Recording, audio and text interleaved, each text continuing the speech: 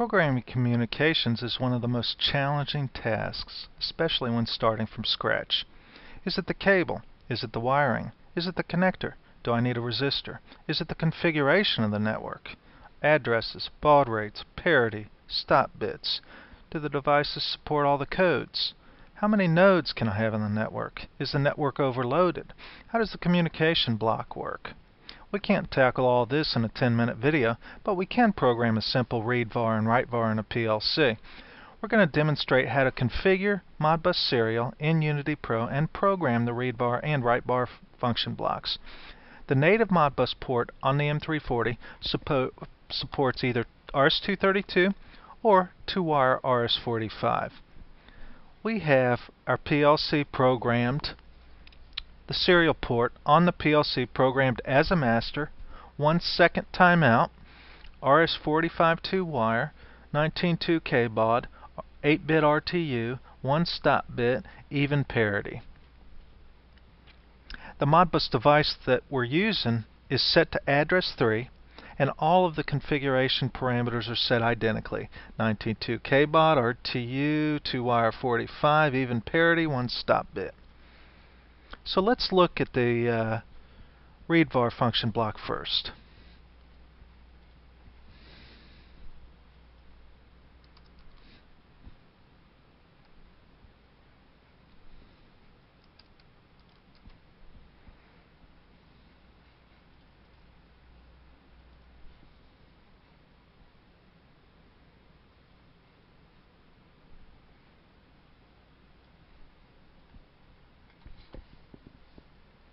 As we look at the read var function block, we have ADR, which stands for the address. This is the address of the device we're talking to. The object type, this is whether it's a 4x register, 3x, 0x, or 1x register.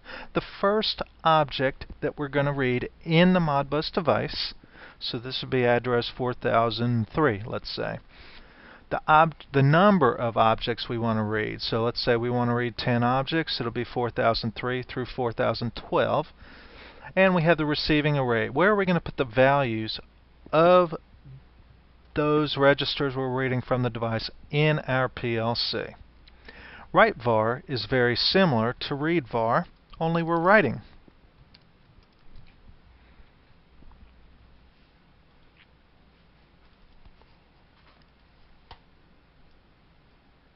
So the basic difference is an input into the write var function block with the values of the data that we want to write. Both the read var and write var have the input-output pin GEST, which is the Communication Exchange Management Table. GEST is a four-element array of words the Exchange Management table, when we open it, the first element of the Exchange Management is read-only. The PLC assigns an exchange number and sets the activity bit. The activity bit is set to zero, set to one while the function block is executing and resets to zero when the execution is complete. The second element of the Exchange management table is critical when you're debugging during the commissioning of a project. The communication report is basically a list of the error codes that you can get. So if you're not using the second element of this array, it's difficult to troubleshoot and you won't see any data. The third element is the timeout. You will forget to program this timeout. It will be zero. You should not forget to program this timeout. You will have trouble when you forget to program this timeout. And this timeout must be set greater than we set the timeout in on the serial port itself. So in this case, our answer delay timeout is one second. In our example, we're going to set a two second timeout. Now you will forget to program this timeout, and that is bad. Do not forget to program this timeout. I would recommend programming this time out. A value of zero will wait forever, and none of us have the patience of Job. So the fourth word of this array is the length. This is written again by the PLC. It is the length in bytes of the communication exchange. So if we're writing or reading 10 words, this length will be 20. So let's program the read var.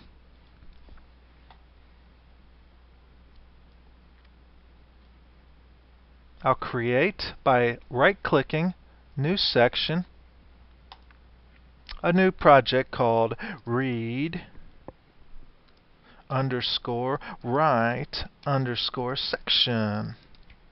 It's a function block section, so I will say OK. I will go to my function block input assistant. I will click it, and I am just going to type read var because I know that's what the command is, or the function block is, and I will slap it right in my logic. Now, the, when the read var executes, I'm going to show the enable, enable out. Each time the enable comes on, and I'm going to one-shot to it, it will execute this function block once. So first we'll put the address in. The address command is addm. It's a string, so I put an open quote, rack 0, slot 0, channel 0, modbus device 3. I will close the quote, and I will end my parentheses.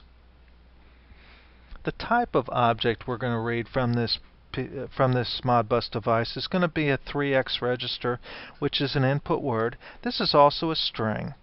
So it's open quote, percent IW, close quote. Percent IW is the IEC standard for a 3x register. Now, where are we going to start reading from? We'll start from address 3003 and the number, let's read five registers. And we'll create an array and we'll call it input from device. And this is an array. we are going to read five registers, but I'm going to make this array eight because I know I'll have to read three more eventually, and I will hit the check mark. And then I'm going to set the uh, exchange management table. I've already created a variable to do this, so I am going to call this the modbus read parameters. And I am going to put a one shot, which is r underscore trig. And I'll put him up here. And I will create a variable called read the variable. I will check. Check. Oh, I have a space in there. No spaces allowed. Check and create. I will create the link from the output of the one-shot to the enable. And then I will go to the variables. I will look at my Modbus read parameters, and I will not forget the timeout. So I will go to the value and I will select a 20. Because if I forget that, that would be bad. We'll go back to my section of logic and we will test this section of logic. So I will build, I'll rebuild the entire project. Yes. I am built. I will say PLC connect.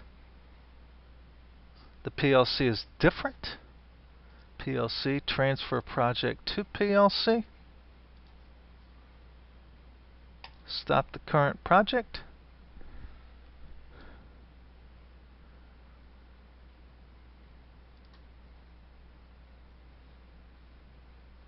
And I am up and running. So I will grab my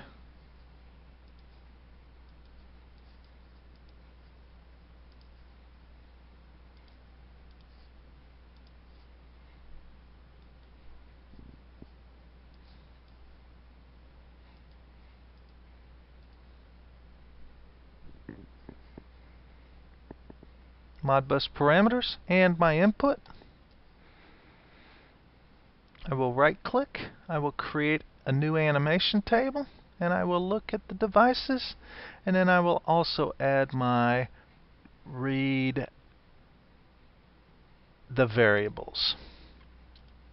I've got my 20 second timeout. I did not forget that, which is very good.